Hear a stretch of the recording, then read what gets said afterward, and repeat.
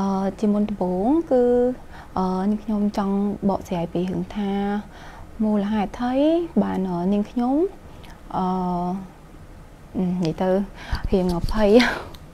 អារម្មណ៍រៀងពិបាកចាទៅអឺអឺមូលហេតុថៃបាននាងខ្ញុំបានផុសវីដេអូអឺនិយាយថាអឺថាអតីតស្វាមីខ្ញុំចោះចាខ្ញុំហៅគាត់ឆាយចុះណាចា គឺគាត់បានធ្វើ អំពើហិង្សានៅលើនាងខ្ញុំជាមួយនឹងកូនចាជាច្រើនលើកច្រើនសារចា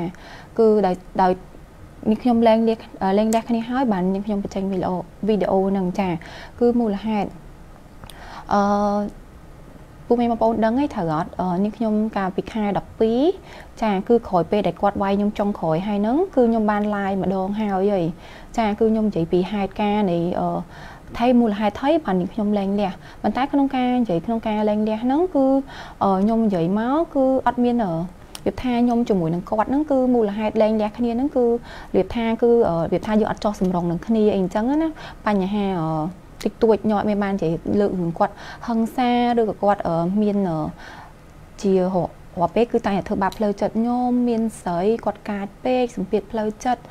និយាយទៅគឺច្រើនសម្រាប់ខ្ញុំ ហ្នឹងហើយប៉ុន្តែគឺខ្ញុំអត់យកមកនិយាយមូលហេតុគឺខ្ញុំគិតថាគាត់បានខុសចំពោះខ្ញុំហើយអញ្ចឹងគឺខ្ញុំអស់ចិត្តហើយអស់ចិត្តចំពោះគាត់គឺខ្ញុំត្រូវការលែងលះប៉ុន្តែគឺគាត់អត់អស់ចិត្តទេគឺគាត់លែងនាងខ្ញុំនិយាយទៅពួកខ្ញុំខ្ញុំសម្រេចចិត្តជាមួយនឹងគាត់នឹងលែងគាត់នឹងគឺតាំងពីថ្ងៃទីអឺខែ11ថ្ងៃទី25 2020ចាអញ្ចឹងពីពីខែ11នេះអឺ ថ្ងៃទី25 2020ហ្នឹងគឺពួកខ្ញុំបានសម្រេចចិត្តលែងគ្នាគាត់បានទៅគេងនៅក្រៅមួយយប់ស្អែកឡើងគឺគាត់បានមកជួបនាងខ្ញុំនៅផ្ទះចាជួបហើយគឺគាត់បានហៅខ្ញុំជាមួយនឹងម៉ាក់ខ្ញុំនៅក្នុងវីដេអូហ្នឹងពូមីបងប្អូនឃើញហើយគឺគាត់បានគាត់តែខ្ញុំចុះពីកតុបទៅនិយាយមួយគាត់ហ្នឹងគឺគាត់គាត់តែចុះដល់ក្រោមភ្លាមគឺគាត់បានបោកកែវ ចាទាំងកូនស្រីជាមួយនឹងកូនប្រុសខ្ញុំនៅនឹងហ្នឹងខ្ញុំនិយាយហេតុការដែលខ្ញុំសម្រេចចិត្តលែងបានឈានដល់ការលែងក្នុងថ្ងៃហ្នឹងអញ្ចឹងណាចាអញ្ចឹងគឺគាត់បានគ្រាន់តែខ្ញុំចុះទៅដល់ភ្លាមគាត់បោកកែវនៅមុខកូនខ្ញុំទាំងពីរអ្នកតែម្ដងហើយនឹងឌុបទេទាំង3ចាទាំង3អ្នកគឺមាន Pearl ហើយទាំងឌុប B ហើយនឹងឌុបចាគាត់ទៅបោកភ្លាមគឺកូនខ្ញុំស្រែកយំភ្លាមហើយខ្ញុំក៏ឆ្ងល់ថាខ្ញុំអត់ទាន់បាននិយាយពីអីហងគឺគាត់បោកកែវយកតែម្ដងហើយខ្ញុំក៏អង្គុយអង្គុយទៅគាត់គឺតានិយាយពីកំហុសខ្ញុំអីអីចោតខ្ញុំទាំងអស់ហើយខ្ញុំអត់ហ៊ានត និយាយតទៅគាត់អីទេព្រោះធម្មតាដូចនិយាយចឹងគឺខ្ញុំបាក់នឹងអ្វីដែលគាត់អឺហឹង្សាលើខ្ញុំណាក្នុងរយៈពេល13ឆ្នាំហ្នឹងគឺខ្ញុំអត់សូវហ៊ានតពេលដែលគាត់ឆេវឆាវចឹងហើយពីច្រើនគឺខ្ញុំនៅស្ងៀមចាអញ្ចឹងគាត់អត់ដោះចិត្តទេគាត់និយាយមួយខ្ញុំថាខ្ញុំមិនចេះអញ្ចោះខ្ញុំជាប្រពន្ធមិនល្អអីអញ្ចឹងហើយអឺបានគាត់ទៅហៅហៅម៉ាក់ខ្ញុំមកនិយាយទៀតប្រាប់ម៉ាក់ខ្ញុំថាខ្ញុំជា ជាកូនដែលមិនល្អឲ្យម៉ាក់ខ្ញុំបដៅខ្ញុំអីអញ្ចឹងណាម៉ាក់ខ្ញុំក៏បាននិយាយទៅគាត់ថាបើសិនជាកូនម៉ាក់មិនល្អលែងចោលអីអញ្ចឹងទៅតែគាត់អ្វីដែលគាត់និយាយហ្នឹងគឺគាត់អត់ចង់អញ្ចឹងទេគាត់ចង់ឲ្យម៉ាក់ខ្ញុំជេរខ្ញុំហើយចង់ឲ្យខ្ញុំនឹងត្រូវគ្នាមួយគាត់វិញប៉ុន្តែធ្វើអញ្ចឹងមិនបានអឺគឺខ្ញុំមានកលការខ្ញុំច្បាស់លាស់គឺខ្ញុំមិនអាចរស់នៅជាមួយគាត់ទៀតទេអញ្ចឹងគឺខ្ញុំត្រូវតែលែងគាត់ ចឹងគឺគាត់អាចឲ្យម៉ាក់ខ្ញុំបញ្ជាខ្ញុំអញ្ចឹងគាត់ខឹងខឹងពេលដែលពងនិយាយមុខម៉ាក់ខ្ញុំជាមួយខ្ញុំហ្នឹងគឺនៅក្នុងវីដេអូដែលខ្ញុំផុសហ្នឹងគឺបងប្អូនឃើញហើយគឺគាត់លើកកញ្ចក់ដែលតុកធំមែនតែនគាត់សឹងនឹងបោកអឺចង់និយាយថាបោកកញ្ចក់ហ្នឹងទៀតណានៅមុខម៉ាក់ខ្ញុំតែម្ដងហើយខ្ញុំក៏អត់តមកទៀតម៉ាក់ខ្ញុំរបៀបថាគាត់រៀងអាយុច្រើនហើយអញ្ចឹងគឺគាត់ក៏ខ្ញុំថាម៉ាក់ឡើងទៅលើទៅមិនបាច់តមាត់អីច្រើនទេមិននិយាយមួយឆាយច្រើនទេព្រោះនិយាយក៏អត់យល់ពីយើងដែរអញ្ចឹងណាអញ្ចឹងក៏គាត់ ម៉ាក់ខ្ញុំឡើងទៅលើហើយខ្ញុំក៏ដើរតាមម៉ាក់ខ្ញុំទៅលើទៅទៅលើគាត់តាមទៅឆ្លោះមួយខ្ញុំទៅដល់លើនឹងទៀតណាទៅដល់លើនឹងទៀតជាមួយម៉ាក់ខ្ញុំស្រែកមានអីមានអីចឹងសម្លេងពួកមានបងប្អូនលឺហើយព្រោះបើខ្ញុំនិយាយអស់គឺនិយាយអត់អស់ទេអ្វីដែលគាត់និយាយអស់ពីអញ្ចឹងគឺគាត់មកហៅខ្ញុំពីកតុបកូនហ្នឹងទៅកតុបខ្ញុំដើម្បីចូលចូលនិយាយគ្នាអីអញ្ចឹងណាចាដល់ពេលខ្ញុំអត់ហ៊ានទៅតែឯងទេ ព្រោះខ្ញុំធ្លាប់គាត់តែងតែពេលតែចូលអញ្ចឹងគឺតែនិយាយត្រូវគាត់លេងនិយាយលេងគ្នាអញ្ចឹងគឺគាត់តែតែងតែវាថាចង់ប្រើអំពើហិង្សាលើខ្ញុំនឹងគម្រាមអីអញ្ចឹងជាច្រើនដងអញ្ចឹងខ្ញុំបាន3 sample ជាមួយនឹង Dubi ហើយនឹងមកដោះអឺមកដោះផល purple ចូលអញ្ចឹងថ្ងៃហ្នឹងខ្ញុំរៀងឈឺពោះខ្ញុំអត់សូវស្រួលខ្លួនណាចុកចាចុកពោះអញ្ចឹងចូលទៅដល់គាត់រៀបថាស្លុតខ្ញុំឲ្យខ្ញុំយកកូនចេញទៅនិយាយពីអ្នកខ្ញុំថា អឺអត់ទេបងមិនបាច់និយាយអីទេយើងនិយាយគ្នាចប់ហើយសម្រាប់តាមហ្នឹងទៅយើងលែងគ្នាអញ្ចឹងណាគាត់បែរជាដេញមកដោះអីចេញមកដោះហ្នឹងក៏សាពះថាអឺបអឺហៀគាត់ឈឺពោះអីអញ្ចឹងណាកុំឆ្លោះគ្នាទៀតគាត់បានប្រើពាក្យសម្ដីថាគាត់ចោះទៅយកកំភ្លើងទៀតណាអាហ្នឹងខ្ញុំនិយាយអស់ដល់ពេលអញ្ចឹងទៅអបាននៅមុខម៉ែដោះមុខអីអញ្ចឹងទៅក៏គាត់អត់ហ៊ានអត់បានចុះឲ្យគាត់របៀបថាក៏គិតថាមុខម៉ែដោះគាត់ខ្មាស់គេដែរមិនដឹងក៏គាត់អត់ទៅយកឯងហើយក៏ថ្ងៃហ្នឹងទៅក៏ផត់ អឺរបៀបថាគាត់ក៏ចេញទៅមុនចេះគាត់បោះសម្ដីឆ្លោះមកខ្ញុំអីតិចតួចអញ្ចឹងគាត់ថាលែងក៏លែងទៅអូខេអញ្ចឹងក៏គាត់ទៅទៅហ្នឹងគឺជាដើមហេតុថ្ងៃទី1នៃលែងលះគឺថ្ងៃទី26ខែ11ណាចាំមានថាខ្ញុំនិយាយប្រាប់គាត់ឡើងថ្ងៃ25ថ្ងៃ26គឺគាត់មករករឿងនៅផ្ទះហើយចាប់ពីថ្ងៃហ្នឹងទៅគឺគាត់អត់នៅគាត់អឺចាញ់ទៅណាចឹងស្អែកឡើងវិញ គឺខ្ញុំចាប់ដើមខ្លាចហើយខ្ញុំគិតថាអឺគិតថាបើសិនជាអញ្ចឹងគឺខ្ញុំនៅផ្ទះគឺខ្ញុំនៅអត់សុខទេអញ្ចឹងក៏ខ្ញុំបាន ចេញទៅនៅផ្ទះបងប្រុសខ្ញុំហើយក៏និយាយរឿងលែងគ្នាអីអញ្ចឹងណាចាដល់ពេលនិយាយរឿងលែងគ្នាគាត់បានទេមកគាត់ថាសន្យាគឺគាត់ឈប់មកជន់នៅផ្ទះនឹងហើយគឺគាត់អឺនឹងធ្វើកិច្ចសន្យានៅមេធាវីឡើងវិញម្ដងទៀតសម្រាប់ខ្ញុំចាសម្រាប់ខ្ញុំហើយឲ្យខ្ញុំមកនៅផ្ទះវិញចាឲ្យខ្ញុំមកនៅផ្ទះវិញអញ្ចឹងណាចាមកនៅផ្ទះវិញដោយសារតែពិតពួកខ្ញុំ មានរឿងកម្មករហ្នឹងតាំងខែ3 2020ហ្នឹងប៉ុន្តែខ្ញុំបានឱកាសគាត់គឺខែ3ហ្នឹងគឺខ្ញុំធ្វើក្រដាស់លេងលេះនៅមេធាវីផ្ដិតមេដៃទុកចោលហើយស្រាប់ហើយចាអញ្ចឹងអឺក៏ខ្ញុំខ្ញុំថាអត់ទេដោយសារផ្ទះហ្នឹងតែដែលខ្ញុំនៅរាល់ថ្ងៃហ្នឹងគឺឲ្យកូនទេគឺមិនមែនឲ្យខ្ញុំទេណាអញ្ចឹងក៏ខ្ញុំថាខ្ញុំអត់ហ៊ានមកនៅទេខ្លាចមកររឿងអីទៀតអញ្ចឹងគាត់ថាអត់អីទេគាត់ធ្វើថាគាត់អត់ចេញចូលទេផ្ទះហ្នឹងអូខេអញ្ចឹងពេលដែលធ្វើនៅក្រដាស់មេធាវីជាលើកទី2ណា គឺគាត់អត់ចេញចូលមានសិទ្ធិចេញចូលផ្ទះហ្នឹងឯងពេលដែលគាត់ធ្វើក្រដាស់មេធាវីអីហើយហើយក៏នាងខ្ញុំ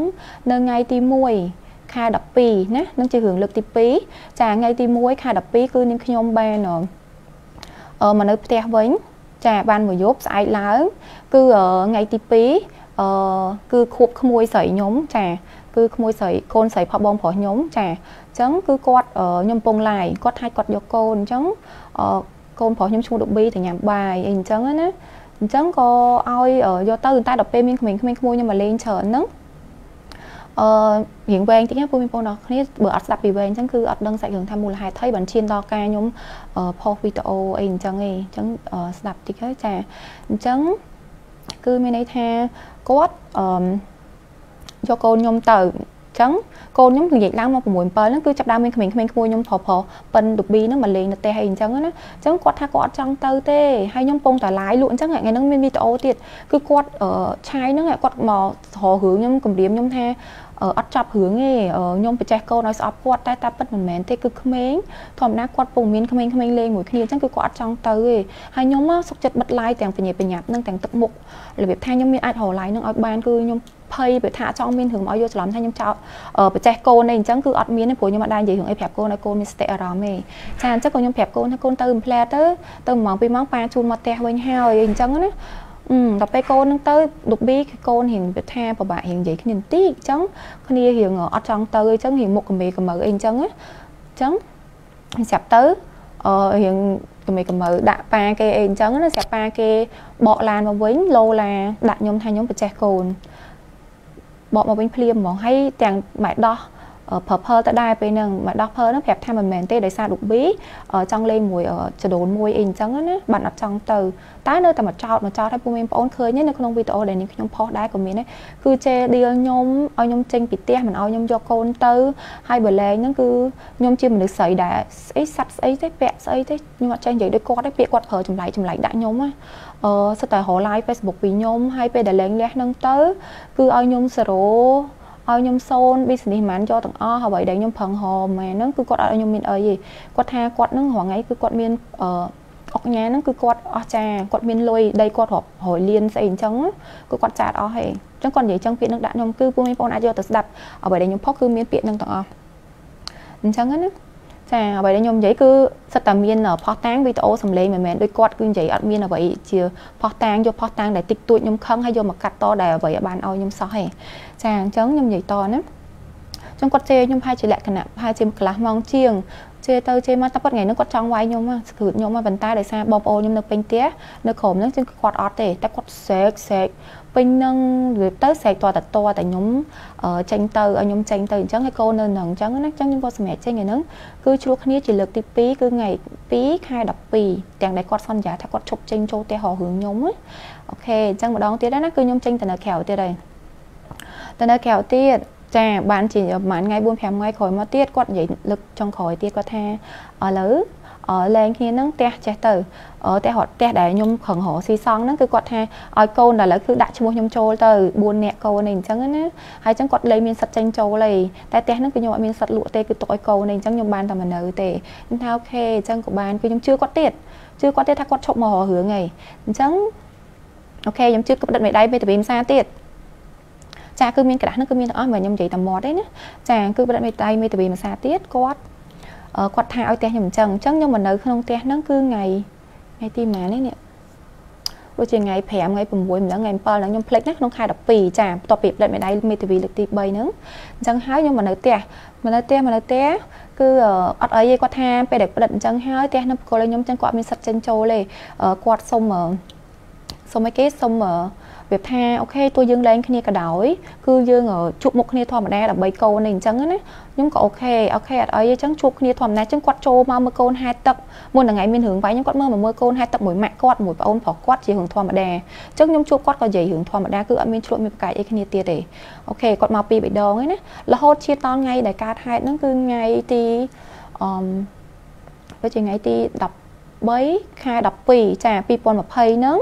គឺថ្ងៃដែលគាត់យកផ្កាមកឲ្យខ្ញុំហ្នឹងណា គាត់ថាយកផ្កាមកលួងខ្ញុំរៀបគាត់ទៅកោះអីណាថ្ងៃ birthday គាត់គាត់ចង់ទៅកោះលេងអីអញ្ចឹងណាអញ្ចឹងពេលដែលគាត់ call មកខ្ញុំហ្នឹងគឺគាត់គាត់ chat អត់ call ទេនិយាយទៅគាត់ chat មកខ្ញុំព្រោះខ្ញុំគាត់គឺអត់អត់មានអីឈ្លោះគ្នាទេគឺយើង accept គ្នាថាយើងលែងគ្នាអញ្ចឹងយើងនិយាយមកគ្នាធម្មតាគឺគាត់បាននិយាយថាគាត់ចង់យកផ្កាខ្ញុំដើម្បីទោះមិនក្តៅគឺថ្ងៃ birthday ខ្ញុំគាត់នៅទេអញ្ចឹងហើយគាត់ថានឹងចង់ឲ្យកដោខ្ញុំពេលហ្នឹងគាត់បាននិយាយថាឲ្យលុយខ្ញុំមិនបាញ់ ABA គាត់សុំតែ account ABA អញ្ចឹងណាខ្ញុំគាត់ថាអូខេហើយពេលហ្នឹងខ្ញុំពងនៅជាមួយជាមួយនឹងប្អូនស្រីចរូនមួយគាត់បកើតហើយនឹងបងប្រុសខ្ញុំសង្សារបងប្រុសខ្ញុំចា4នាក់អញ្ចឹងក៏ខ្ញុំបានប្រាប់ពួកនឹងថាជាមួយឆាយយកផ្កាមកហើយចង់ឲ្យកដួយខ្ញុំអញ្ចឹងខ្ញុំនិយាយគ្នាលេងហើយក៏ខ្ញុំ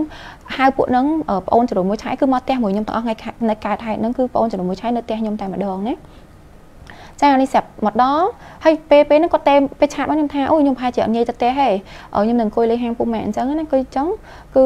ឲ្យតកងឡានហ្នឹងយកផ្កាខ្ញុំហ្មងមកមិនបាច់ចាំបាច់ជួបដំបូងគាត់ថាអូខេឲ្យតកងឡានយកផ្កាមកនេះស្រាប់មកស្ទុះក្រោយមកទៀតគាត់កែប្រែវិញគាត់ថាអត់ទេគាត់សុំយកឲ្យដល់ផ្ទាល់ម្ដងរបៀបថាមុននឹងគាត់រៀបទៅខេតអីអញ្ចឹងណាកុំឲ្យមិនក៏ យ៉ាងហោចណាស់ក៏យើងបានជួបគ្នាមុននឹងទៅខេតគាត់និយាយចឹងថា okay អត់អីអញ្ចឹងព្រោះយើងជួបគ្នាម្ដងគឺអត់មានរឿងកើតហេតុអីអញ្ចឹងក៏ខ្ញុំថា okay អញ្ចឹងណា ដល់ពេលខ្ញុំបានមកដល់ផ្ទះនេះគាត់ក៏បានយកផ្កាខ្ញុំមែនខ្ញុំដើរចូលមកធម្មតាអញ្ចឹងទៅគាត់យកផ្កាឲ្យខ្ញុំហើយគាត់ថាងគាត់អោបខ្ញុំអីអញ្ចឹងខ្ញុំគិតថា okay មិនក៏ធ្លាប់ជាប្តីអោបធម្មតាគឺអត់មានបញ្ហាអីទេព្រោះខ្ញុំអត់មានចិត្តខឹងគាត់ទៀតទេគឺខ្ញុំអស់ចិត្តអញ្ចឹងគឺលែងគ្នាដើម្បីកូនយើងធម្មតាមួយគ្នាទៅមិនបាច់និយាយសាច់រឿងអីកូនដឹងទេអញ្ចឹងក៏គាត់ចូលមកគាត់អោបខ្ញុំអីអញ្ចឹងទៅខ្ញុំឡើងមកគឺគាត់ថាឡើងមកទៅអីគាត់ប្រាប់ខ្ញុំថាចេះឡើងសុំមកមើលកូនកូនស្រីខ្ញុំហ្នឹងតែបន្តិចទៅទៅគេងវិញហើយខ្ញុំខ្ញុំទៅមកពីក្រៅអញ្ចឹងខ្ញុំត្រូវយកកាបូបលុយខ្ញុំទៅតុកក្នុងកតុក អញ្ចឹងក៏ខ្ញុំដើរចូលទៅក្នុងកតុបចូលក្នុងកតុបក៏ដើរចូលមកតាមគាត់អត់ចូលមើលកូននេះណាគាត់ដើរចូលមកតាមខ្ញុំអឺគាត់មកដល់គាត់សាពះខ្ញុំថាគាត់សុំទោសអឺអាចត្រូវគ្នាវិញបានអត់ហ្នឹងខ្ញុំនិយាយឲ្យអស់ហ្មងមនុស្សខ្ញុំអត់ចេះនិយាយកុហកគឺនិយាយពាក្យពិតអឺសុំទោសអឺត្រូវគ្នាវិញបានអត់ឲ្យឱកាសគាត់ខ្ញុំថាអឺខ្ញុំអត់ដែរខឹងទេរឿងដែលគាត់ធ្វើដាក់ខ្ញុំ3 10ឆ្នាំហ្នឹងគឺខ្ញុំអត់ខឹងប៉ុន្តែគាត់ថាខ្ញុំមិនអាចទៅត្រូវគ្នាជាមួយនឹងគាត់វិញបានអញ្ចឹងណា គឺខ្ញុំមិនអាចត្រូវគ្នាមួយគាត់វិញទេអញ្ចឹងតែនៅក្នុងការ live របស់គាត់នេះគឺគាត់និយាយអញ្ចឹងគាត់និយាយថាខ្ញុំចោទថាខ្ញុំជេរគាត់ខ្ញុំប្រចាំគាត់គឺអត់មានទេពូមីបងប្អូនទាំងអស់គ្នាគិតមើលខ្ញុំគាត់វាយខ្ញុំ3 10ឆ្នាំហើយតើខ្ញុំហ៊ានតមាត់ឬហ៊ានទៅនិយាយសម្ដីអីដែលដែលរបៀបថា នៅមុខគាត់ពីរនាក់អញ្ចឹងព្រោះមនុស្សអ្នកដែលធ្លាប់ត្រូវគេវាយគាត់ដឹងគឺសម្បីតែមួយម៉ាត់គាត់ហ៊ានតដៃគាត់ហ៊ានពូមីអាចមើលនៅក្នុងវីដេអូបានតើមានលឺសំឡេងខ្ញុំស្រែកជេរម៉ែគាត់ឬក៏វាយគាត់ឬតដៃគាត់អត់គឺអត់មានទេតាំងពីដើមមកគឺខ្ញុំបាក់ហ្មងព្រោះវាយូរដែរសម្រាប់ខ្ញុំអញ្ចឹងអញ្ចឹងគឺរាល់ពេលតែឆ្លោះគ្នាភ្លាមៗគឺខ្ញុំអត់ដែរមានតែពេលឆាតពេលអីចឹងបើខ្ញុំទៅចេញអារម្មណ៍ថាខ្ញុំឆ្លោះមួយគាត់មិនថាឲ្យគាត់ពីបិមាត់ស្រែកឲ្យគាត់ឬហៅគាត់រៀងអាអីអញ្ចឹងអានឹងគ្មាននៅក្នុងការវាយប៉ុន្តែបើថានៅមុខផ្ទាល់គឺខ្ញុំអត់ហ៊ានហ្មង ណាដល់ពេលខ្ញុំនិយាយតអញ្ចឹងគាត់ក៏សុំតោសុំអីខ្ញុំអញ្ចឹងទៅរមអោបខ្ញុំអីចឹងថាអូអត់ទេណាអឺខ្ញុំច្បាស់លាស់ជាមួយអ្នកបងឯងហើយគឺយើងលែងលះគ្នាអញ្ចឹងទៅខុនដូវិញគេងចោះហើយគាត់បាននិយាយប្រាប់ខ្ញុំថាចេះអឺទៅសុំទៅមើលកូនស្រីតិចខ្ញុំក៏កូនស្រីខ្ញុំភ្ញាក់ស្រាប់ពីយមអញ្ចឹងក៏ខ្ញុំដើរមកមើលកូនស្រីអង្គុយនៅពុកនឹងគាត់ក៏ឈរនៅនឹងថាបងទៅទៅអឺ ព្រោះយប់អីអីអញ្ចឹងណាហើយបែរក៏រៀងស្វឹងតិចតួចដែរអញ្ចឹងអឺយើងមិននិយាយគ្នាទៀតទេបើចង់និយាយយើងអាចនិយាយតាមទូរស័ព្ទបានស្អែកអញ្ចឹងចាំនិយាយគ្នាទៀតអញ្ចឹងណាហើយបងចរូនមួយគាត់គឺចាំនៅកន្ទប់លើបងប្រុសខ្ញុំកន្ទប់នៅជាន់ទី3ហ្នឹងជាមួយនឹងសង្សារគាត់ព្រោះខ្ញុំថាចាំអង្គុយនិយាយគ្នាលេងតនៅផ្ទះអញ្ចឹងណាដល់ពេលហើយមានណាគាត់គាត់អត់ព្រមទៅទេគឺគាត់និយាយប្រាប់ខ្ញុំថាចេះតោះឲ្យណែតមើលអូនទៅចូលក្នុងកតុបពីរអ្នកនិយាយគ្នាទៀតខ្ញុំខ្ញុំនឹងដឹងថាចរិតប្តីខ្ញុំមិនចៃអញ្ចឹងគឺខ្ញុំអត់ហ៊ានចូលទេ អឺគឺខ្ញុំអត់ហ៊ានចូលទេ គឺខ្ញុំប្រាប់ថាបងអត់និយាយដដែលតែអញ្ចឹងនេះស្រាប់គាត់តែខ្ញុំឆ្លើយថាអត់និយាយដដែលតែលើកទី2គឺគាត់ចាប់ទាញដៃខ្ញុំនឹងក្នុងវីដេអូពូមីបងប្អូនឃើញហើយគាត់វាយខ្ញុំយកតែអញ្ចឹងតែម្ដងទាំងពេលហ្នឹងគឺកូនស្រីខ្ញុំពូមីបងប្អូនឃើញហើយគឺគាត់នៅ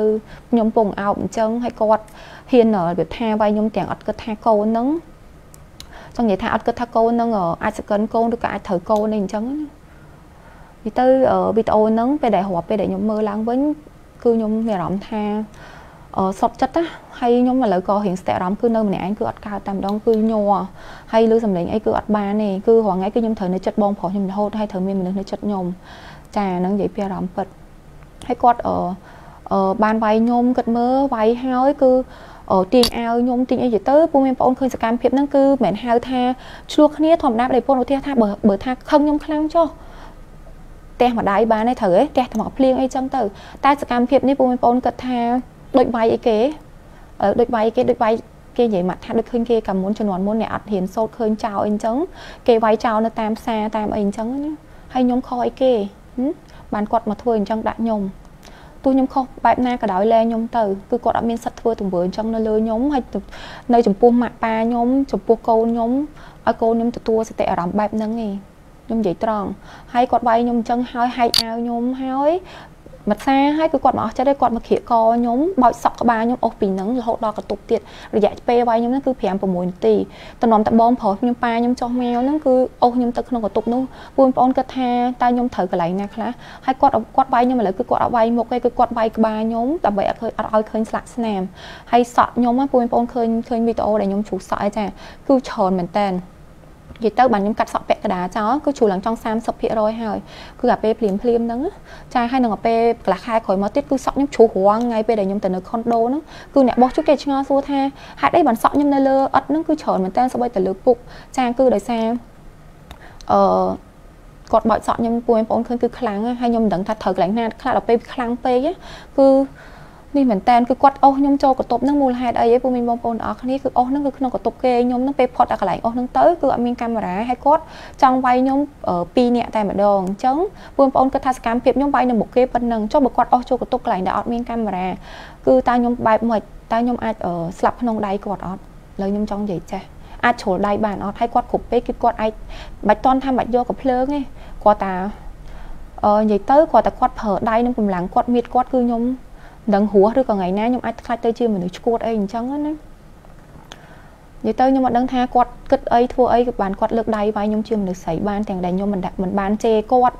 មិនបានធ្វើអីខុសចំពោះគាត់គឺគាត់ធ្វើអញ្ចឹងនិយាយគាត់ឲ្យតែយើងធ្វើអីតាមអារម្មណ៍គាត់គឺគាត់ធ្វើអញ្ចឹងមកឲ្យតែគាត់ខឹងចាហើយគាត់ដោយសារបងប្រុសខ្ញុំនៅនឹងប៉ាខ្ញុំនៅខាត់នៅបានបានខាត់គាត់អត់ឲ្យបិទទ្វារអត់ឲ្យអីទាខ្ញុំមកហ្នឹងគឺគាត់ខឹងទៀតគឺគាត់បានទៅយក ទៅយកគេទៅយកកំភ្លើងនៅក្រោមពូមីបងប្អូនឃើញហើយនៅក្នុងវីដេអូចាគឺគាត់ឲ្យទៅចោះទៅយកកំភ្លើងពីអង្គរៈគាត់នៅក្រោមហ្នឹងហើយបានខ្ញុំមានពេលឆ្លៀតឱកាសគឺខ្ញុំឡើងទៅរត់នៅលើពួននៅលើដំបូលផ្ទះហើយបងប្អូនអរគ្នាដំបូលផ្ទះខ្ញុំគឺមានចដាឡើងទៅខ្ពស់ហ่ะនិយាយទៅពេលភ័យអារម្មណ៍ពេលភ័យយកដឹងថានិយាយទៅយើងលឿនហ្មងនិយាយត្រង់គឺធម្មតាយើងអឺ មិនជាអ្នកហាត់ប្រាណហាត់អីចឹងយើងវាថាមិនដឹងអូឡើងមិនអីមិនអីឡើងខ្ពស់ហ្មងចដាឡើងទូយើងខ្លាចចឹងដល់ពេលភ័យពេកចេះតែទៅហើយបានប៉ាខ្ញុំយកចដានឹងលាក់ទៅគាត់គិតថាខ្ញុំពួននឹងកតុបប៉ាខ្ញុំគាត់នៅស្រែកគំរាមអីរបាញ់ខ្ញុំអីរស្លាប់ខ្ញុំរអីហើយគាត់ថាបើសិនជានេះគាត់ខឹងគ្រួសារខ្ញុំឲ្យគ្រួសារខ្ញុំសូនទាំងអស់ពួកពួកមីងបងប្អូនយល់ហើយពាក្យសូនហ្នឹងមិនមែនខ្ញុំនិយាយតែមាត់ទេណានៅក្នុងវីដេអូដែលខ្ញុំផុសហ្នឹងគឺមានចា គឺមានអ្វីដែលខ្ញុំនិយាយទាំងអស់ហើយពួកបងប្អូនបាច់ភ័យណាថ្ងៃហ្នឹងគឺខ្ញុំជាវីដេអូអឺលើកទី1ដែលខ្ញុំនិយាយធៀបពិតផុសអឺឆាយហើយក៏ជាវីដេអូចុងក្រោយដែលខ្ញុំនិយាយពីឆាយដែរហើយនឹងជីវិតពិតដែលខ្ញុំរស់នៅផុសជាមួយនឹងគាត់3 10ឆ្នាំហ្នឹងតែពិតខ្ញុំអត់ដែរចង់និយាយប្រាប់អ្នកណាគេគឺខ្ញុំចង់លាក់រឿងហ្នឹងទុកកប់ចោលហើយខ្ញុំលែងគ្នាទៅគឺផ្សេងគ្នាប៉ុន្តែគាត់គឺជាអ្នកបណ្ឌិតរឿងមកនិយាយដាក់ខ្ញុំមុនណាអញ្ចឹងគឺខ្ញុំត្រូវការអ្វីដែលខ្ញុំនិយាយហ្នឹងមកវិញព្រោះខ្ញុំអត់បានធ្វើដូចអ្វីដែលគាត់និយាយទេ ចាដល់ពេលហើយជំរឿអូយមិននិយាយទៅកាត់អឺហ្នឹងហើយគាត់អឺគម្រាមគ្រួសារខ្ញុំសូទាំងអស់អីអញ្ចឹងទៅស្រែករខ្ញុំរកធាក់ទ្វារកតុបប៉ាខ្ញុំប៉ាខ្ញុំចាក់លឺធ្វើថាខ្ញុំនៅនោះខ្ញុំនៅលើដបូហ្នឹងងឹតហើយសិតតែជីងចាក់តកែយំខ្ញុំភ័យនិយាយទៅអារម្មណ៍ពេលហ្នឹងគឺភ័យមែនតើ ខ្ញុំដឹងថាមានមនុស្សស្រីប្រហែលអ្នកដែលគាត់ធ្លាប់ជួបរឿងហ្នឹងដូចខ្ញុំទេអាហ្នឹងខ្ញុំនិយាយពីអារម្មណ៍ពិតខ្ញុំហ្មងព្រោះបើសម្រាប់ខ្ញុំវិញលើកហ្នឹងលើកចុងក្រោយដែលវាយខ្ញុំហ្នឹងគឺជាមិនដឹងជាចិត្តជាលើកទី100ហើយដែលគាត់វាយខ្ញុំអញ្ចឹងពេលខ្លះអត់មានវីដេអូអត់មានកាមេរ៉ាមានខ្លាំងជាងនឹងទៀតក៏មានដែរលើកនេះសំណាងហើយដែលខ្ញុំមានគ្រួសារខ្ញុំហើយម៉ែដោះហើយអ្នកនៅមួយអីគាត់អាណិតអញ្ចឹងគាត់ជួយទប់អីអញ្ចឹងណាចាគឺខ្ញុំភ័យមែនតើនៅលើនឹង ភ័យលូសំលេងគាត់ស្រែកគំរាមទៅមកទៅមកពុកមីងបងប្អូនស្ដាប់ទៅលឺហើយថាតើរន្ធត់បែបម៉េចនឹងពុកមីងបងប្អូនគ្រាន់តែស្ដាប់ឯងចុះខ្ញុំហ៎ខ្ញុំជាអ្នកជួបទង្វើនឹងផ្ទាល់តើអារម្មណ៍ខ្ញុំបែបម៉េចហ្នឹងហើយដល់ពេលអញ្ចឹងរហូតតបងប្រុសខ្ញុំពីរនាក់ទៀតមកជាមួយនឹងប្អូនប្រុសគាត់មកអឺប្រហែលជារយៈពេលដែលខ្ញុំពូននៅលើត្បូងប្រហែលជាមួយម៉ោងកន្លះមួយម៉ោងជាងចាត្រឡប់ទៅមកនៅនិយាយគ្នាឆ្លោះគ្នានិយាយប្រកែកគ្នាមួយបងប្រុសខ្ញុំទៅមកទៅមកនឹងទៀត ចាហើយបានតែខ្ញុំសុំជាមួយខ្ញុំសរសើរទឹកចិត្តចិត្តបងប្រុសខ្ញុំណាគឺគាត់លើគិតថាប្រហែលជាខ្ញុំចិត្តអត់ដាច់ចឹងគាត់អត់ហ៊ានធម្មតាអ្នកខ្លះពូមានបងប្អូនយល់អារម្មណ៍ហ៎ប៉ាក៏ដោយបងប្រុសក៏ដោយពេលដែលឃើញបងប្អូនស្រីត្រូវគេវាយអញ្ចឹងតើអ្នកណាគេទ្រាំបានត្រូវអត់តែបងប្រុសខ្ញុំសុំសរសើរចិត្តគាត់គឺគាត់អត់មានប៉ះសម្ដីជេរឌីលឆាយហើយក៏ អត់មានប្រំភើហឹង្សាទៅលើឆាយវិញគឺខ្ញុំសរសើរចិត្តបងប្រុសខ្ញុំទាំង3ធ្វើអញ្ចឹងពិតជាត្រឹមត្រូវគឺយើងមិនបាច់ធ្វើទេអ្នកណាធ្វើអីគុំតែទទួលយើងទៅធ្វើរបៀបថាដាក់ទោសមនុស្សដោយការសងសឹកវាយគ្នាទៅវិញទៅមកចឹងទៅអីគឺអត់ទេអ្នកណាធ្វើខុសអីទទួលយកនឹងទៅចារហូតដល់តតា តើតាបងប្រុសខ្ញុំមកបងអូនឆាយអីមកអញ្ចឹងទៅហើយប៉លីសមកដល់មុខផ្ទះតែគេអត់ហ៊ានចូលទេចាគឺទេហៅប៉លីសបងដល់មុខផ្ទះគេអត់ហ៊ានចូលដោយសារគេថារឿងគ្រួសារអត់ហ៊ានចូលអញ្ចឹងក៏ប៉លីសមកដល់ហ្នឹងក៏ឆាយគាត់យកកំភ្លើងទុកវិញបានប៉ាខ្ញុំ3 4 5នាក់គាត់ឆាយគាត់ចង់បានទៀតគាត់នៅចដាលឡើងជាន់ទី1ហ្នឹងបាទខ្ញុំចុះពីលើដបូហ្នឹងមកខ្ញុំរត់ចុះមកហ្នឹងគេទប់ពួកបងប្អូនឃើញក្នុងវីដេអូហើយខ្ញុំរត់ចេញទៅក្រៅលើឡើងឡានមួយបងប្រុសខ្ញុំទៅទប់ឆាយទៅបាទខ្ញុំចេញទៅផុតក្នុងថ្ងៃហ្នឹង ចាហើយថ្ងៃហ្នឹងគឺជាថ្ងៃចុងក្រោយដែលឆាយវាយខ្ញុំអញ្ចឹងណាហើយហើយពួកបងប្អូនទាំងអស់គ្នានិយាយទៅអារម្មណ៍ហ្នឹងពេលដែលខ្ញុំទៅដល់ផ្ទះទៅដល់ផ្ទះបងប្រុសខ្ញុំហ្នឹងគឺខ្ញុំគេងឈឺខ្លួនពីសប្តាហ៍ចាបានខ្ញុំមានអារម្មណ៍ថារៀងបាត់ឈឺក្បាលខ្លួនអីអីត្រូវទាំងអស់គាត់តែថាក្បាលយកដឹងត្រូវថតស្លាកស្នាមមិនអោយពូមានបងប្អូនមើលអញ្ចឹងណា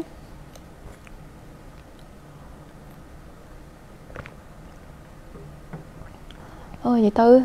រឿងវែងមិនវែងមែនតើតែដូចខ្ញុំនិយាយចឹង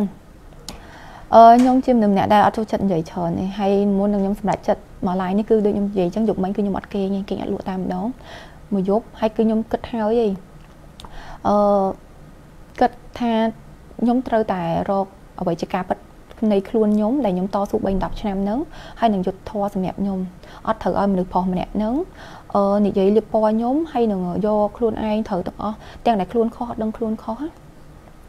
ចាអូខេអញ្ចឹងឥឡូវខ្ញុំនិយាយបន្តទៀតចាអញ្ចឹងហើយអឺគឺខ្ញុំទៅដល់ផ្ទះបងប្រុសខ្ញុំអីហើយគាត់ចាប់ដើមភ័យអីគាត់ធ្វើខុសហើយបានគាត់ដឹងខុសគឺគ្រប់ពេលគាត់បាយខ្ញុំហើយភ្លាមស្អែកឡើងគាត់ដឹងខុសហើយមិនគាត់អត់ដឹងខុសគាត់ដឹងខុសចាគឺគាត់ដឹងខុសគាត់អឺពេលផឹកឡើងនេះគាត់ចាប់ដើមខលមកបងប្រុសខ្ញុំខលមកម៉ាក់ប៉ាខ្ញុំខលមកខ្ញុំអីអញ្ចឹងណាថា ចាកុំប្តឹងគាត់អីអឺទុកថាលើកនឹងគាត់ខុសចុងក្រោយចោះសម្រាប់3 10ឆ្នាំហ្នឹងគាត់សុំតលែងគ្នាទៅលែងដាក់ចូលតឡាការទៅយកกระดาษដែមនៅមេធាវីហ្នឹងណាដាក់ចូលតឡាការទៅហើយឲ្យគាត់កែប្រែខ្លួនទៅមុខគាត់ក៏គាត់មកឲ្យជួបសំលេងគាត់ក៏គាត់មិនឲ្យលឺដែរហើយឲ្យខ្ញុំនៅមើលថែកូនទៅហើយឈប់ធ្វើបាបផ្លូវចិត្តខ្ញុំឈប់មកចង់ត្រូវគ្នាមួយខ្ញុំបខំខ្ញុំគម្រាមកំហែងជីវិតខ្ញុំនិងគ្រួសារខ្ញុំអីគាត់និយាយចឹងតែពេលពេលហ្នឹងក្នុងចិត្តខ្ញុំនិយាយតាមត្រង់គឺខ្ញុំ គិតដែរខ្ញុំគិតថាអូខ្ញុំខឹងខ្ញុំអត់អាចលើកលែងឲ្យគាត់ទេប៉ុន្តែខ្ញុំគិតឡើងវិញខ្ញុំថាអត់ទេយ៉ាងហោចណាស់គាត់ក៏ជាមនុស្សប្រុសដែលខ្ញុំធ្លាប់ស្រឡាញ់ក៏ធ្លាប់ជាប្តីខ្ញុំកាលពីមុនហើយជាពិសេសឥឡូវហ្នឹងគឺគាត់ជាឪពុកផុសកូនខ្ញុំ3នាក់ចាខ្ញុំគេងគិតចំណុចហ្នឹងបានខ្ញុំគិតថាអត់ទេអឺគឺខ្ញុំអត់ប្តឹងគាត់ទេ ចាហើយក៏ខ្ញុំអត់និយាយរឿងហ្នឹងប្រាប់នរណាគេដែរចា គឺដឹងតែក្នុងដំបងគ្រួសារខ្ញុំនិងមិត្តភ័ក្ដិខ្ញុំចិត្តស្និទ្ធចាថាមូលហេតុអីបើខ្ញុំលែងចឹងអ្នកណាចង់គិតមិនក៏គិតទៅអញ្ចឹងណាប៉ុន្តែអឺដោយសារខ្ញុំត្រូវការភាពជាក់លាក់ច្បាស់លាស់ថាខ្ញុំជាមួយនឹងគាត់អត់មានពាក់ព័ន្ធគ្នាឃើញពូមានបងគឺក្នុងខែ12ប្រហែលជាថ្ងៃ10ជាងបន្ទាប់ពីគាត់វាយខ្ញុំហើយនឹងបានមួយសប្តាហ៍ខ្ញុំបាន live live ក្នុង Facebook ចា Facebook ខ្ញុំផ្ទាល់គឺខ្ញុំនិយាយពីហេតុផលដែលហេតុអីបើខ្ញុំលែងគ្នាជាមួយនឹងឆាយអីអញ្ចឹងណា ចាបានលែងគ្នាមួយឆាយគឺពូមីងបងប្អូនដឹងគឺខ្ញុំនិយាយគឺអត់មានបាននិយាយរឿងដូចបែបឥឡូវហ្នឹងឯងចាគឺគាត់តែខ្ញុំនិយាយថាពួកខ្ញុំនៅមួយគ្នាអត់ចោះសម្រងអតចរិតផងអីផងហើយការទ្រាំផងខ្ញុំវាច្រើនរឿងដែរអីអញ្ចឹងណាគឺខ្ញុំអត់ដែរបាននិយាយថាគាត់ហឹងសាឬគាត់ធ្វើអីអំពើដល់សាហាវប្រៃផ្សាយបែបហ្នឹងលើខ្ញុំឯងចាជាមួយនឹងកូនខ្ញុំឯងគឺខ្ញុំអត់និយាយតែម្ដងព្រោះខ្ញុំដូចខ្ញុំនិយាយអញ្ចឹងគឺខ្ញុំចង់ឲ្យគាត់យកកំហុសគាត់នឹងចេញពីជីវិតខ្ញុំបំភ្លេចខ្ញុំទៅហើយគាត់ទៅធ្វើល្អប្រឹង ធ្វើល្អកែប្រែហើយគាត់អាចរកគ្រួសារថ្មីតែគ្រួសារថ្មីហ្នឹងគាត់តតែគាត់នឹងកែប្រែចរិតដែរបើមិនជាគាត់បន្តច្រឹកដូចធ្វើលើខ្ញុំ3 10ឆ្នាំហ្នឹងទោះគាត់ការជាមួយអ្នកផ្សេងមិនប្រកាសថាទ្រាំដូចខ្ញុំបាន3 10ឆ្នាំហ្នឹងទេអញ្ចឹងគាត់គួរតែកែច្រឹកគាត់ឲ្យធ្វើជាមនុស្សល្អដើម្បីអឺកូនទាំង3អញ្ចឹងណាចាប៉ុន្តែគាត់បែរជាអត់ទេចាគឺគាត់អត់ដឹងកំហុសគាត់សោះតែម្ដងខ្ញុំនិយាយត្រង់គឺគាត់អត់ដឹងទេ គឺគាត់នៅតែព្យាយាមខឆាតមកខ្ញុំរំខានសតិអារម្មណ៍ខ្ញុំគំរាមខ្ញុំបើអត់ត្រូវអីអីអញ្ចឹងហើយគាត់ព្យាយាមដាក់អ្នកតាមខ្ញុំពូមីបងដឹងហើយឃើញ schedule ដែលគាត់ផុសថាខ្ញុំទៅណាមកណាហើយដាក់លួចដាក់កាមេរ៉ានៅមុខផ្ទះខ្ញុំហើយពេលដែលខ្ញុំពេលដែលខ្ញុំថ្ងៃ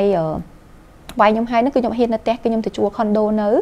ចាគឺគាត់ដាក់អ្នកតាមនៅខុនដូនៅអីគឺគាត់ដឹងទាំងអស់ចា តែខ្ញុំអត់ហ៊ានមកផ្ទះឲ្យសម្បីតកូនយកទៅលេងនៅខុនដូពូមានបងយកអារម្មណ៍ថាកូនស្រីយើងណាអឺអិកកូនស្រីនៅស្រីយើងពេលដែលបាច់ពីកូនគឺមានអារម្មណ៍មិនគឺយើងនឹកហ៎បើតែខ្ញុំគិតថាបើសិនជាយកកូនមកនៅជាមួយខ្ញុំគឺគាត់អាចយកលេសមករកកូនគាត់បានអញ្ចឹងខ្ញុំសុខចិត្តឲ្យកូនខ្ញុំនៅក្នុងផ្ទះខ្ញុំនៅរាល់ថ្ងៃនេះជាមួយនឹងម៉ាក់ខ្ញុំហើយជាមួយនឹងម៉ែដោះ ចាគឺខ្ញុំអត់សូវហ៊ានយកកូនទៅលេងនៅខុនដូទៅលេងទៅគេងតែមួយយប់អីឬយកមកវិញហើយឬក៏ទៅលេងមួយផ្លែតមួយផ្លែតអញ្ចឹងណាដោយសារខ្ញុំនឹកពេកហើយពេលខ្លះខ្ញុំលួចមកលេងនៅផ្ទះលួចមកលួចពីខុនដូមកលេងនៅផ្ទះនឹងតែម្ដងចាតែទាំងភ័យខ្លាចខ្លាចគាត់ថ្ងៃណាគាត់មកគាត់អីចឹងណាឆ្លោះគ្នាវាយខ្ញុំតិចទៅខ្ញុំមានអារម្មណ៍ថាខ្ញុំបាក់តែម្ដងអឺរហូតដល់ពេលដែលនៅខុនដូគាត់តែងគម្រាមដាក់អ្នកតាមខ្ញុំអីខ្ញុំអញ្ចឹងទៅនិយាយទៅហើយរហូតដល់ ឈានដល់ដាក់ដល់តឡាការហ្នឹងត្រូវចាំរហូតដល់ស្ថាពរហ្នឹងត្រូវចាំដូចជាតាំងពីខែ12ថ្ងៃ12ហ្នឹងរហូតដល់ខែ1ថ្ងៃ14បានពួកខ្ញុំលែងលះគ្នាដាច់ជាស្ថាពរការពុំវិញបងប្អូនឃើញនៅក្នុងអ្វីដែលខ្ញុំបង្ហោះហើយចាគឺស្ថាពរតែម្ដងចាពេលដាច់ទៅគឺកូនទាំង3មានអំណាចសិទ្ធិមេបាមកលើខ្ញុំហើយផ្ទះហ្នឹងគឺចែកឲ្យកូនជាមួយនឹងខ្ញុំមានចំណែកស្មើស្មើគ្នា4នាក់អញ្ចឹងណាបានហើយផ្ទះហ្នឹងគឺឆាយអត់មានសិទ្ធិចេញចូលអញ្ចឹងទៅបានខ្ញុំហ៊ាន មកនៅផ្ទះវិញចាហើយគាត់សន្យាថាពេលដែលខ្ញុំមកនៅផ្ទះវិញហ្នឹងគឺគាត់ឈប់តាមឈប់ខ្វល់ពីជីវិតខ្ញុំហើយឈប់អឺនិយាយទៅគឺឈប់ខ្វល់ឈប់អីអញ្ចឹងណាឲ្យខ្ញុំសុខហើយគឺនិយាយទៅគឺកូនគឺបាននិយាយគ្នាហាហើយចា គឺរៀងរងថ្ងៃច័ន្ទពុតសុកគឺកូន ត្រូវទៅជួបគាត់អញ្ចឹងណាចាឌុបប៊ីគឺរៀងរងថ្ងៃសុកទៅគេងបើសាថ្ងៃច័ន្ទពុតគឺគាត់រៀនសាលាអញ្ចឹងគាត់អាចគេងបានទេពិបាកគ្នាសាលាអឺរៀបថាត្រូវរៀបក្អៅរៀបអីចឹងគ្នាពិបាកអាក្មេងគេងអត់តន់មកអីចឹងគឺរៀងរងថ្ងៃសុកគឺគេអាចតែគេងមួយប៉ាគេឬទាំងថ្ងៃសៅរ៍ទៀតអញ្ចឹងណាគឺខ្ញុំតែងតែឲ្យទៅបែបនឹងចាឲ្យសម្រាប់ផលមួយគឺដោយសារគ្នានៅទួយទៅមួយឆ្នាំជាងអញ្ចឹងពួកបងប្អូនដែលមានម៉ាក់ម៉ាក់គឺដឹងអីថាគឺ ធម្មតាកូនទូចចឹងទោះថាត្រូវការគេងកន្លែង តែគាត់ធ្លាប់គេងហើយជាពិសេសគឺនៅចិត្តម៉ាក់បើសិនជាយើងម៉ាក់យើងរៀងរវល់ឬក៏មានអីការងារថ្ងៃឡើងតែខ្ញុំធ្វើការគឺកូនខ្ញុំតាំងពីកើតមកគឺខ្ញុំមើលតាមមួយម៉ាក់ខ្ញុំឯងម្ដងហ្នឹងទៅមកនៅបានផែជារយៈពេល6ខែចាមិនដូចម្ដងហង5 6ខែដែលមានម៉ែដោះហ្នឹងកាលពីទូចមកគឺខ្ញុំរវល់ធ្វើការងារមិនគឺខ្ញុំឆ្លាស់តែមួយម៉ាក់ខ្ញុំឯងអត់ដែលមានម៉ែដោះឯណាហើយកូនខ្ញុំទាំង3គឺគឺម៉ាក់ខ្ញុំមួយខ្ញុំហ្នឹងគឺជាអ្នកមើលទាំងអស់មានម៉ែដោះណាគឺអ្នកនៅមួយហ្នឹងគឺគាត់គ្រាន់តែជួយលាងដបដោះគោលាងអីគឺកូនហ្នឹងគឺខ្ញុំមើលពីអ្នកម៉ាក់រហូតគឺធ្វើការងារផងទាំងមើលកូនផងចាអញ្ចឹងគឺអឺចឹងខ្ញុំសុំមួយថារាល់ពេលដែលយកភើទៅគឺចង់យកពីថ្ងៃទៅក៏បានដែរម៉ោង2 10ទៅតែសុំតែមុនម៉ោង10យប់ឲ្យកូនមកគេងនៅផ្ទះធម្មតាអញ្ចឹងណាដោយសារគ្នានៅទូចតែគ្នាបែកកន្លែងទៅគ្នាគេងអត់កើតទេគឺយំហើយពិបាកគេពូមានបងដែលមានកូនគឺគាត់ដឹងហើយហើយពិសេសគឺត្រូវការនៅចិត្តម្ដាយបានច្រើនហើយនឹងយាយយាយក៏ដូចម្ដាយដែរអញ្ចឹងណាចាដល់ពេលហើយគាត់ គឺពេលដែលលែងគ្នាហើយនេះខែថ្ងៃ11អឺខែពីខែខែ1ថ្ងៃ14 2021នេះគឺពួកខ្ញុំចេញស្ថាពរមកគឺលែងគ្នាដាច់អីអញ្ចឹងណាហើយយើងបាននិយាយគ្នាថាធ្វើអញ្ចឹងតែគាត់គឺនៅរបៀបថាដូចចង់ត្រូវគ្នាមួយញោមនៅតែប្រច័ននៅតែអីអីអញ្ចឹងណាអញ្ចឹងគឺគាត់ព្យាយាមយកកូននឹងមកធ្វើជាគំនាបរហូតអឺដូចថាឲ្យតែគាត់យកកូនទៅអញ្ចឹងដល់ថ្ងៃចាំគាត់យកកូនទៅអញ្ចឹងថ្ងៃហ្នឹងគឺខ្ញុំត្រូវការមានជួបភ្ញៀវឬក៏ ត្រូវការនៅកម្មវិធីគេអីអញ្ចឹងគឺគាត់តែងតែមីសេកមកគម្រាមខ្ញុំថាបើសិនជាខ្ញុំបើសិនជាខ្ញុំអត់ទៅផ្ទះទេអត់ទៅផ្ទះឥឡូវទេគឺគាត់អឺនឹងអត់ឲ្យកូនមកវិញទេខ្ញុំថាហេតុអីចាំបាច់ធ្វើអញ្ចឹងពួកក្មេងគ្នាដឹងអីទេអឺរឿងអ្នកឆាយជាមួយនឹងខ្ញុំគឺជាមួយខ្ញុំហេតុអីបានកូនអញ្ចឹងយើងបាននិយាយគ្នាហើយគឺកូនគាត់ធ្លាប់រស់នៅធម្មតាអញ្ចឹងគឺឲ្យគាត់នៅអញ្ចឹងទៅ គឺគាត់ជួយចិត្តឲ្យតានឹងពូបងប្អូនយល់គឺនឹងឲ្យលក្ខណៈប្រចាំនេះត្រូវអត់លក្ខណៈរបៀបថាជួយចិត្តយកកូនណាអ្នកដែលធ្លាប់លែងប្តីគឺមនុស្សប្រុសខ្លះខូចគឺជួយចិត្តយកកូនហ្នឹងតែគាត់គាត់មិនសូវស្រឡាញ់កូនហ្មងនេះខ្ញុំនិយាយខ្ញុំនិយាយត្រង់បើសិនមនុស្សប្រុសហ្នឹងស្រឡាញ់កូនគឺគិតអារម្មណ៍កូនជាងជាងអារម្មណ៍គាត់មិនមែនគាត់ដើម្បីចង់ត្រូវមួយប្រពន្ធណាធ្វើបាបកូនឲ្យកូនហ្នឹងលំបាកឯងខ្ញុំជឿចិត្តអញ្ចឹងពីព្រោះគាត់ដឹងច្បាស់ហើយបើសិនជាគាត់ជាមនុស្សប្រុសមួយដែលថា ឆាយតាំងពីខ្ញុំមានកូន3នឹងមកតិចថាធ្លាប់ដោកតបកូនឬលៀងលៀងគូតកូនម្ដងឬក៏ឲ្យកូនមុំគឺម្ដងក៏អត់ដែរមានណាខ្ញុំហ៊ាននិយាយគឺអត់ដែរសោះតែម្ដងហើយឬយប់ឡើងគឺមិនដែរជួបជួយមើលខ្ញុំបើកូនឬក៏អីគឺអត់សោះតែម្ដងណាខ្ញុំហ៊ាននិយាយថាគឺអត់តែម្ដងអញ្ចឹងគឺពូនប្អូនឃើញហើយគឺវាបញ្ជាក់ថាគាត់អត់ស្រឡាញ់កូនទេគឺគាត់អ្វីដែលគាត់ធ្វើហ្នឹងណា ខ្ញុំមិនថាអត់ស្រឡាញ់សោះទេស្រឡាញ់ប៉ុន្តែការដែលគាត់ធ្វើយកកូនអត់ឲ្យមកវិញហ្នឹងគឺគាត់តែជាគំនាបនៅលើខ្ញុំនេះដើម្បីឲ្យខ្ញុំពិបាកផ្លូវចិត្តធ្វើមិនអឺពិបាកអីចឹងទៅអាចខ្ញុំទៅសុំគាត់បបត្រូវគ្នាវិញអីអញ្ចឹងណាតែដូចខ្ញុំសុំនិយាយចឹងគឺអត់អាចទេព្រោះខ្ញុំអ្វីដែលខ្ញុំរឹងមាំព្រោះថ្ងៃនេះដែលខ្ញុំលែងគាត់ហ្នឹងគឺមូលហេតុអីឲ្យពូបងប្អូនអរគ្នាគឺខ្ញុំស្រឡាញ់កូនស្រីខ្ញុំខ្លាំងខ្ញុំនិយាយត្រង់ និយាយទៅលំអៀងហ្មងគឺស្រឡាញ់កូនស្រីខ្លាំងមែនតើខ្ញុំជាការពិតក្នុងចិត្តហើយដោយសារកូនស្រីហ្នឹងពេលដែលខ្ញុំកើតហ្នឹងគឺខ្ញុំធ្លាក់ឈាមរយៈពេល2ខែគឺចង់កើតមុនតាំងពី7ខែគឺខ្ញុំទៅនៅសិង្ហបុរីកេងក្នុងសង្គ្រោះមិនតាន់ហ្នឹងអឺចង់ចិត្ត2ខែហ្នឹងតែម្ដងណាគឺចាក់ថ្នាំរហូតហើយឈាមហូរដូចទឹកអញ្ចឹងចាអញ្ចឹងគឺខ្ញុំមានលក្ខណៈថាគឺខ្ញុំពិបាកមែនតើកើតកូនស្រីហ្នឹងអញ្ចឹងខ្ញុំស្រឡាញ់គាត់ខ្លាំងណាអញ្ចឹងគឺពេលដែលគាត់នេះបោកកែវមកកូន វាយវាយឌុប៊ីក្នុងខែខែ7ថ្ងៃ3គឺគាត់វាយកូនប្រុសខ្ញុំទៀតហើយបិទទ្វារក្តាំងឲ្យឲ្យភើលយំផងវាយកូនប្រុសខ្ញុំមួយខ្ញុំនឹងចំក្បាលធាក់ខ្ញុំបើសិនជាខ្ញុំផ្ងាក្រោយអាចខ្ញុំនឹងបាក់កស្លាប់បាត់ក៏មិនដឹងឬក៏ត្រូវកូនខ្ញុំទៅទាំងពីរអ្នកម៉ែកូនក៏មិនដឹង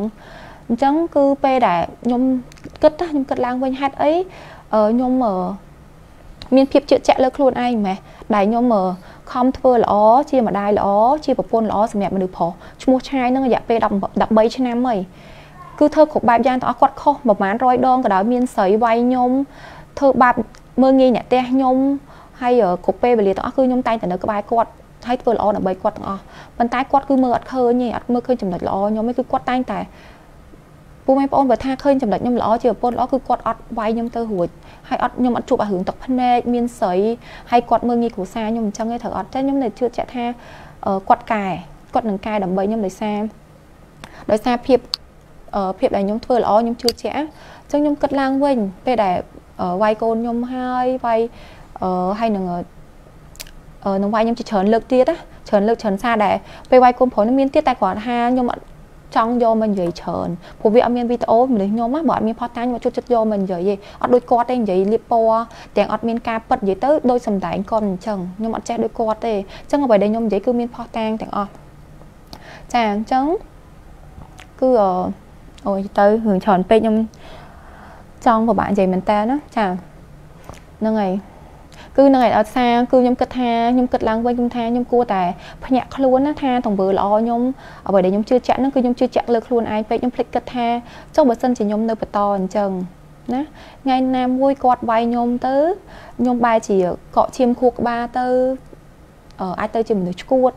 ឬក៏អាចទៅជាពិការឬក៏អាចទៅអាចស្លាប់បានដោយសារក្នុងដៃគាត់តើអ្នកណាគេមើលកូនខ្ញុំ3នាក់នឹងទាំងកូនប្រុសខ្ញុំច្បងនឹងកំពុងតែឈឺចា ខ្ញុំនិយាយត្រង់ទោះឥឡូវមានម៉ាក់ខ្ញុំជួយមើលតាំងពីកើតមកឥឡូវកូនខ្ញុំទាំង3គឺម៉ាក់ខ្ញុំជួយទាំងអស់បានខ្ញុំមានពេលធ្វើ business ហ្នឹងក៏ដោយតើមានអ្នកណាគេជួយមើលកូនខ្ញុំព្រោះម៉ាក់ខ្ញុំឥឡូវគាត់រៀងអាយុច្រើនហើយ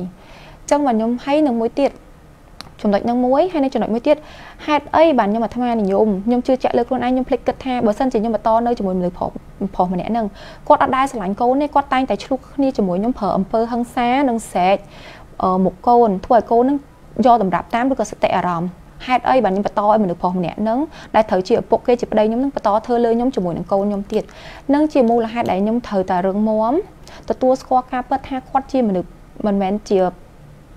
អាចធ្វើជាប្តីខ្ញុំបាននិងធ្វើជារួមរស់ធ្វើជាឪពុករបស់កូនខ្ញុំបាននេះគាត់ជាឪពុកគឺជាឪពុករហូតទេប៉ុន្តែគាត់មិនគួរគាត់គួរតែកែចរិតគាត់សិនទៅចាគួរតែរកប៉ែទៅរកអីនិយាយឲ្យគាត់កែចរិតណាឲ្យគាត់របៀបថាកុំឲ្យធ្វើអំពើអញ្ចឹងមុខកូនទៅគាត់អាចជួបកូនតែកូននៅតែកូនខ្ញុំមិនអាចបែកបាក់អឺប៉ាមួយកូនគេប៉ុន្តែគឺខ្ញុំមិនអាចបន្តរួមរស់នៅមួយគាត់ មួយថ្ងៃមួយថ្ងៃ24ម៉ោង24ម៉ោងរាប់ឆ្នាំទៀតជិះកូនខ្ញុំអាចយកតម្រាប់តាមគាត់ធំឡើងអាចធ្វើដូចគាត់ឬក៏កូនខ្ញុំទៅជាមនុស្សសតិអារម្មណ៍មានថាបាក់ឮសំឡេងស្រែកអីអត់បានទេដូចផលឥឡូវអញ្ចឹងពេលដែលឮសំឡេងអីស្រែកគឺគាត់ភ័យខ្លាចហ្មងចុះពួកបងប្អូនគិតទៅតាំងពីខ្ញុំនិយាយទៅគាត់ធ្វើបាបខ្ញុំហ្នឹង3 10ឆ្នាំហើយអញ្ចឹងតាំងពេលទាំងនោះក៏គាត់មានរឿង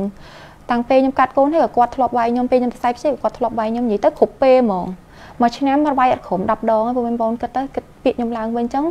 3ដល់10ឆ្នាំខ្ញុំអត់និយាយថាមិនបាច់ដល់ថា130ដងនិយាយថាអូខេត្រឹមចិត្ត100ដងទៅបានហើយតើអារម្មណ៍ខ្ញុំបែបណាបងប្អូនអរគ្នាពិតជានិយាយត្រង់ខ្ញុំនឹកឃើញឡើងវិញឲ្យខ្ញុំឲ្យខ្ញុំនឹកថាអូខេឥឡូវគាត់វាយខ្ញុំកន្លែងណាខ្លះនិយាយទៅខ្ញុំអត់ចាំទេគាត់ថាយើងចាំអារម្មណ៍មួយថាឃើញមនុស្សប្រុសម្នាក់ហ្នឹង គឺខ្ញុំបាក់ខ្ញុំអត់ហ៊ានតមាត់មួយគាត់ទេពេលដែលឆ្លោះគ្នាអីអញ្ចឹងគឺនៅស្ងៀមហើយពេលដែលគេវាយយើងគឺអត់ហ៊ានតទេ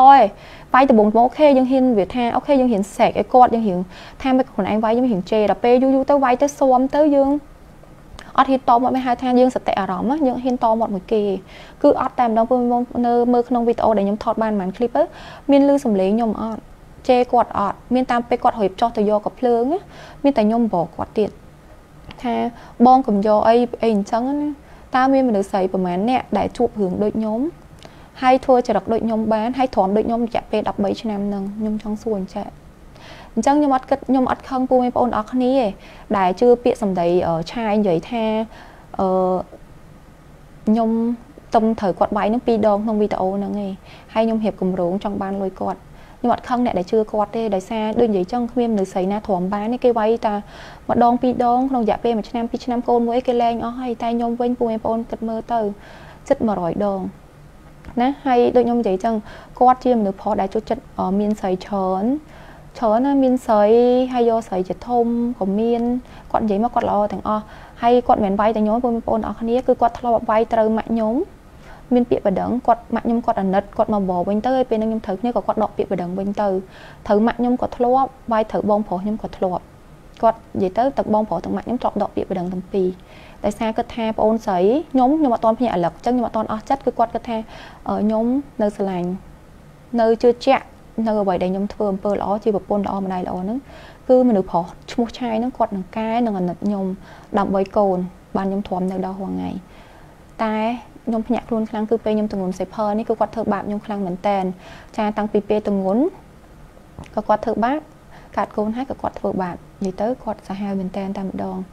និយាយទៅនិយាយសាច់រឿងខ្ញុំមកថានិយាយ24ម៉ោងក៏អត់អស់ដែរបងប្អូនអរគ្នាចាអញ្ចឹងអូខេឥឡូវនឹងគឺជាសាច់រឿងដែលខ្ញុំលែងលះណាអញ្ចឹងហើយមួយទៀតមូលហេតុថៃអឺបានខ្ញុំចេញវីដេអូនៅក្នុងខែ3ថ្ងៃទី16នេះ 2021នេះចាគឺដោយសារតាំងពីថ្ងៃដែលលែងលះហ្នឹងចេញសារក្រមមកគឺកូនមានអំណាចសិទ្ធិមេបាហើយគាត់យកទៅរៀងរាល់ថ្ងៃច័ន្ទពុតសុកហើយគឺគាត់នៅតែនៅតែបន្តយកកូនធ្វើគំនាប យកទៅជាពិសេសកូនស្រីខ្ញុំកូនប្រុសអត់អីគេងលើសមួយថ្ងៃពីរថ្ងៃមានអីវាវាថាគ្នាអាយុ7 8ឆ្នាំហើយអញ្ចឹងគេងទៅគ្នាចេះប្រាប់ចេះអីហើយអត់អីទេបានប៉ាយកទៅអញ្ចឹងទិញកប៉ាន់ទិញឲ្យគ្នាសុបាយចិត្តខ្ញុំអត់ថាអីទេតែកូនស្រីហ្នឹងគឺគ្នាយំហើយនៅទូចហើយធម្មតាម្ដោះពូបងប្អូនដឹងអ្នកដែលមានកូនទូមានម្ដោះមើលក៏ក៏យកទុកចិត្តដែរត្រូវអត់តើតែមានម៉ាក់យើងនៅចិត្តបើយើងរវល់អញ្ចឹងមានម៉ាក់យើងមានប្អូនស្រីយើងជាពិសេសគឺយើងខ្លួនយើងផ្ទាល់នៅចិត្តអញ្ចឹងណា គេងមួយអីអញ្ចឹងទៅអញ្ចឹងបាទខ្ញុំគិតថាគឺខ្ញុំមិនអាចឲ្យគាត់ធ្វើដាក់ក្មេងដែលនៅទូចអញ្ចឹងយកទៅធ្វើឲ្យមកគម្រាមខ្ញុំគ្រប់ពេលទេអញ្ចឹងគឺគាត់ធ្វើតាំងពីខ្ញុំលែងគ្នាមកហ្នឹងគាត់យកកូនស្រីខ្ញុំធ្វើយកទៅឲ្យមកវិញអញ្ចឹង3ដងឯចាលើកទី3ថ្ងៃទីថ្ងៃទី8ខែ3ហ្នឹងគឺជាលើកទី3ចាដែលគាត់និយាយជាមួយខ្ញុំច្បាស់តែម្ដងគឺគាត់អត់ឲ្យកូនមកខ្ញុំវិញទេគឺគាត់នឹងប្តឹងលែងលះអេមិនមែនប្តឹងលែងលះគឺនឹងប្តឹងយកកូនពីខ្ញុំទៅហើយ គាត់នឹងប្តឹងអត់ឲ្យខ្ញុំអត់ឲ្យខ្ញុំនៅផ្ទះនឹងទៀតចានិយាយទៅឲ្យខ្ញុំអត់មានអីថាឲ្យខ្ញុំសេរ៉ូចេញទៅខ្លួនតតេតែម្ដងណាបងប្អូនអរគ្នាគឺគាត់និយាយបែបហ្នឹងហើយក៏ខ្ញុំពេលដែលនិយាយបែបហ្នឹងនិយាយហើយគឺគាត់បងប្អូនដឹងហើយគឺគាត់ផ្ដាច់ទំនាក់ទំនងខ្ញុំមួយកូនមែនខ្ញុំដេកយំបងប្អូនអរគ្នាដេកយំហ្មងមួយថ្ងៃហ្នឹងគឺគាត់ផ្ដាច់ទំនាក់ទំនងខ្ញុំជាមួយនឹងកូនតែគាត់ យក iPad កូនខ្ញុំហ្នឹងវាយមកខ្ញុំរហូតថាចោតថាខ្ញុំមានអ្នកទី3ឲ្យខ្ញុំឲ្យអ្នកទី3ខ្ញុំទិញផ្ទះឲ្យខ្ញុំទៅនៅមួយគេអីទៅអីចឹងអឺនិយាយទៅគឺគាត់លៀបពណ៌ខ្ញុំទាំងអស់ចាចោតខ្ញុំអីអញ្ចឹងណាឲ្យខ្ញុំចេញពីឲ្យឲ្យផ្ទះហ្នឹងទៅឲ្យគាត់គាត់នឹងប្តឹងឲ្យកូនក៏គាត់យកឲ្យរយៈពេល4ថ្ងៃបានកូនខ្ញុំហ្នឹងពេលដែលគាត់អត់នៅមើលកូនខ្ញុំទេម៉ោង11:40នាទីពួកបងប្អូនឃើញវីដេអូកូនខ្ញុំដែលខ្ញុំផុសហើយគឺគាត់កូនពេលដែលគាត់ទៅក្រៅខ្ញុំអត់ដឹងថាគាត់ទៅណាណាកូនខ្ញុំលួច iPad ហ្នឹង iPad របស់កូនខ្ញុំណាលួចហើយបានទេមកខ្ញុំហ្នឹងបាទខ្ញុំថ្ងៃហ្នឹងខ្ញុំមានអារម្មណ៍ខ្លោចចិត្តមែនតែនកូនទេមកនិយាយគ្នាក្មេងហើយខ្ញុំអត់បាននៅចិត្តទេអញ្ចឹងគឺខ្ញុំខ្ញុំយកអារម្មណ៍ក្មេងគឺខ្ញុំមិនអាចនិយាយគាត់សតិអារម្មណ៍ទេថាប៉ាគាត់ចេះចេះអឺពងប្តឹងអត់ឲ្យកូនជួបខ្ញុំគាត់អាចនិយាយពីអីដែលគាត់ពិបាកចិត្តខ្ញុំមាននិយាយថាអឺមិនអីតែលេងសប្បាយអត់បងប្អូនឃើញវីដេអូហ្នឹងដឹងហើយគឺខ្ញុំអត់ព្យាយាមអត់ឲ្យកូនខ្ញុំនេះតែកូនខ្ញុំបងប្អូនឃើញគាត់អារម្មណ៍គាត់គឺគាត់ពិតជានឹកខ្ញុំហើយគាត់ប្រាប់ពាក្យពិតទាំងអស់ថាប៉ាយក iPad លាក់បិទ Wi-Fi បិទអ៊ីនធឺណិតអត់ឲ្យប្រើទេ ហើយគាត់នៅចិត្តអ្នកនៅមួយអីអញ្ចឹងណាមិនដោះដែលនិយាយកុហកអីហ្នឹងគឺគាត់ឡើងភ័យវាថាម្ដងហ្នឹងឈប់ពីផ្ទះខ្ញុំទៅដើម្បីទៅនៅក្នុងយកលុយឆាយដែលឲ្យហ្នឹងទៅនៅក្នុងអញ្ចឹងគឺអត់ឲ្យប្រាប់ខ្ញុំថាតែពិតខ្ញុំដឹងហើយខ្ញុំថាអត់អីទេកូនមិនកុហកម៉ាមីទេកូនម៉ាក់ដឹងថាធីរ៉ានៅនឹងអីចឹងកូនមិនភ័យកូននិយាយធម្មតាទៅហើយតិចទៀតមួយថ្ងៃទៀតម៉ាមីយកអូនមកវិញហើយតែដោយសារពាក្យកូននិយាយ កូននឹកម៉ាក់ចង់មកផ្ទះវិញចឹងធ្វើឲ្យទឹកភ្នែកខ្ញុំស្រក់ស្រក់ចឹងទៅស្រក់មុខកូនតែគាត់អត់ចង់ទេចង់រឹងមកកុំឲ្យកូនមានសតិអារម្មណ៍ចឹងណា